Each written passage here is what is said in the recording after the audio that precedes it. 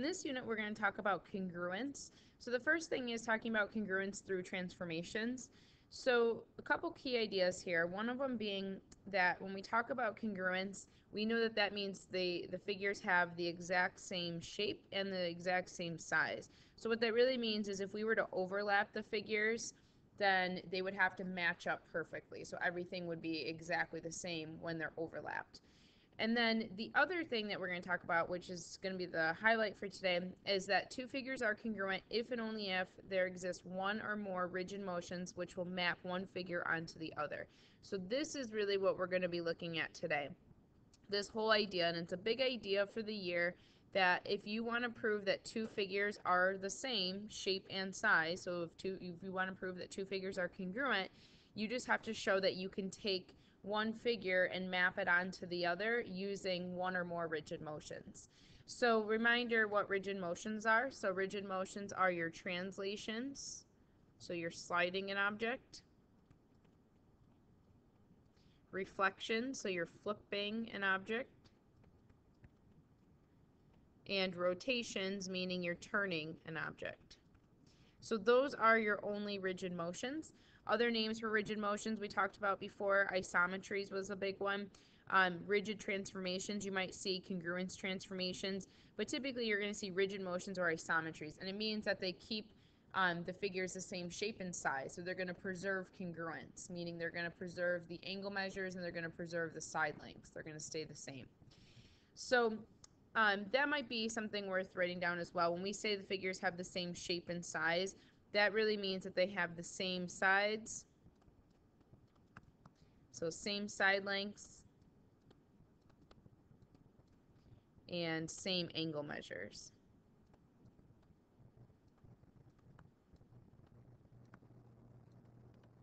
So those rigid motions are going to preserve those things. They're going to keep the side lengths the same and they're going to keep the angle measures the same.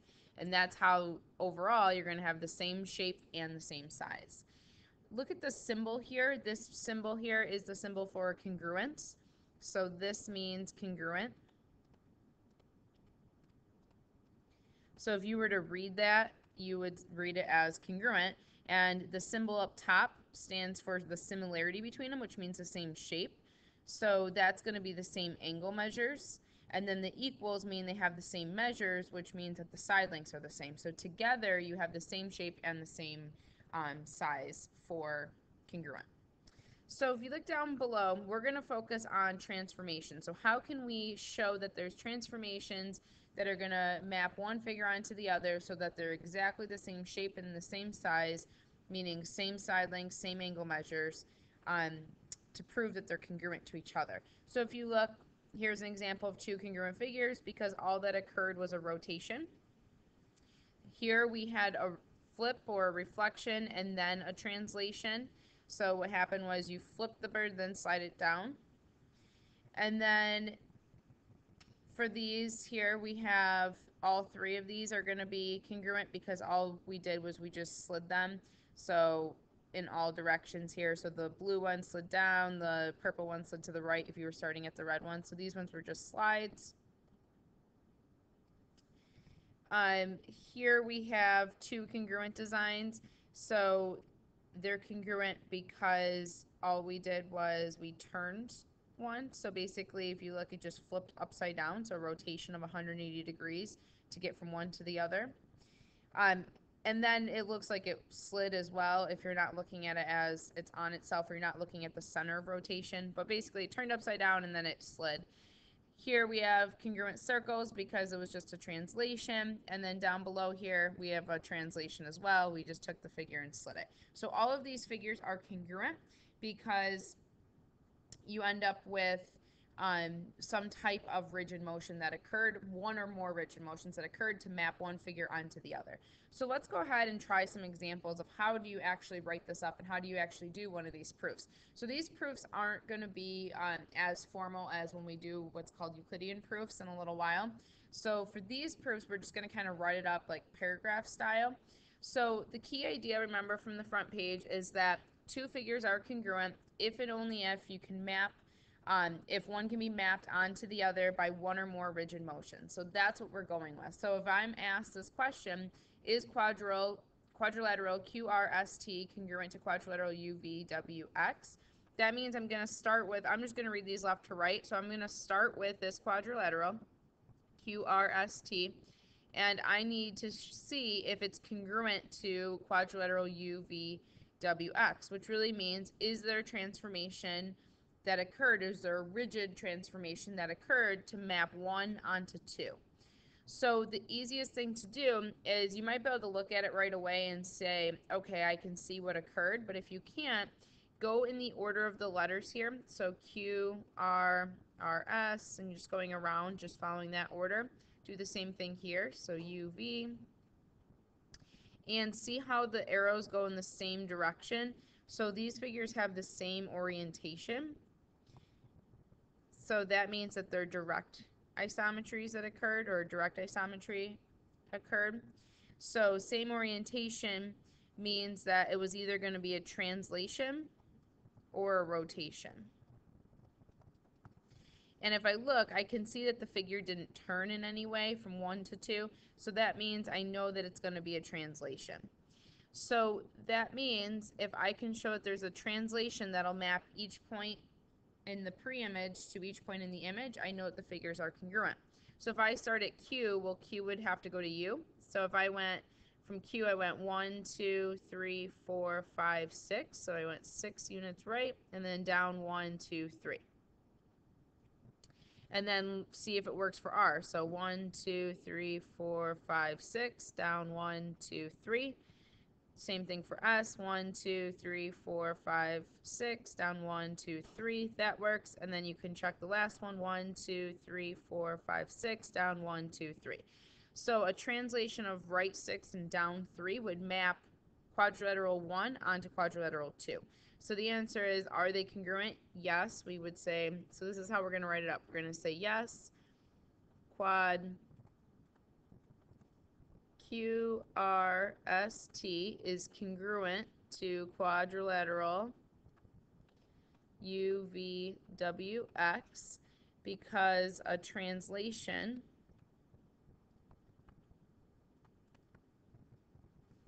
of, and remember that one of the notations is this mapping notation. So a translation of um, x plus 6 because it was to the right 6 and then y minus 3 since it was down 3. So a translation of this maps quadrilateral. So the first one that I started with was QRST. So it's going to map or take quadrilateral QRST onto quadrilateral UVWX and translations.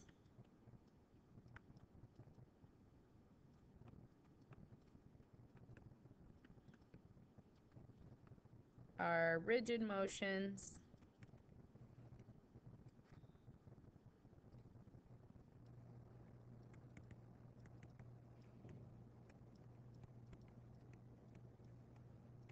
Which preserve angle measures and side lengths.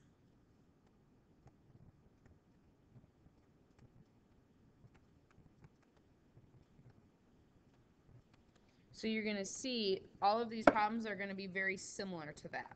So you have to mention, first of all, what transformation you use or which rigid motion you've used to map the one figure onto the other. So I mentioned that was a translation, and you're being specific with this. You don't want to just say a translation, you want to actually give the specific transformation. And then once you've done that, you need to mention, well, why does that make them congruent? Well, it makes them congruent because translations are rigid motions. You got to refer back to this property here. So translations are rigid motions, and since we found a rigid motion that maps one figure onto the other, those figures must be congruent. So it's because translations are rigid motions, which are preserving or keeping the angle measures and side lengths the same. So that's the process. You're going to see this is going to be very similar for all of these. So if we go to the second one here, first thing you want to do is identify where you're starting. So I'm always going to start on the left. So this will be my number one. This will be number two. And so that means this is one, this is two. Then you want to look at the order of the letters. So follow the order up here. So it went Q, R, S, T. And then this one was U, V, going around this way. So you can see that the order is the same. So it's the same orientation.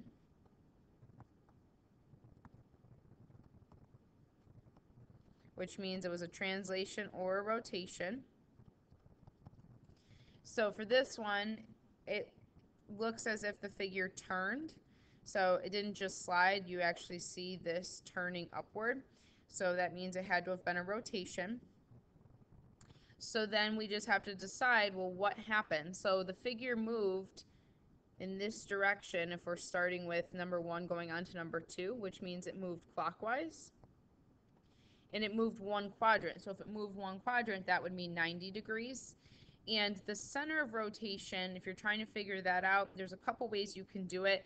Um, it's for me, I can just see that it's at zero zero because if you look at S to um, let's say W, that that became W, you can see that that distance is the same. I went over one, two, three, four, then up one. Then here I went over one, up one, two, three, four. So the center would be at the origin. Same thing applies for Q and U. So you can see that you have a 90 degree angle here because it was one quadrant. And you can see that it would the vertex of the angle would have to be at the origin. Now, if you can't tell, remember that you could connect these two points, construct the perpendicular bisector, and then connect, let's say, these two points, construct the perpendicular bisector, and where the perpendicular bisectors cross, that's where the center is going to be. So that's an option too. Um, so anyways, I know that the center is 0, 0, so I can go ahead and I can say yes, quad QRST is congruent to quad UVWX because a rotation of 90 degrees clockwise around zero zero. Maps the first quadrilateral so quad so it's important to make sure that whatever you numbered you're saying that that one number one maps onto number two because otherwise the direction would have changed. If I started here I would have been going counterclockwise so you want to make sure that you say it maps quadrilateral which is number one here so QR ST onto quad um, UVWX, and rotations are rigid motions. Are rigid motions which preserve um, angle measures and side lengths.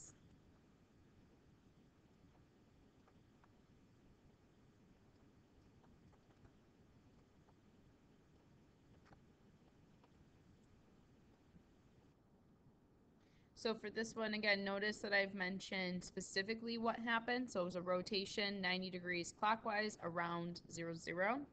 And then I said that that maps figure 1 onto figure 2. And I mentioned again that rotations are rigid motions, which are preserving the angle measures and side lengths, which is what's making them congruent. So th these are really like paragraph style proofs. So you can't leave anything out. You do have to go through and do this whole thing.